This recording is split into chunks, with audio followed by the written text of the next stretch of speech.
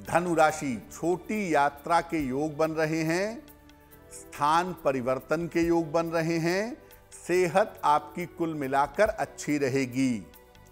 भगवान सूर्य को अगर आप जल अर्पित कर दें तो आपका दिन और भी ज़्यादा बेहतर होगा। शुभ रंग होगा पीला और भाग्य का मीटर आपको नंबर दे रहा है, पचहत्तर प्रतिशत।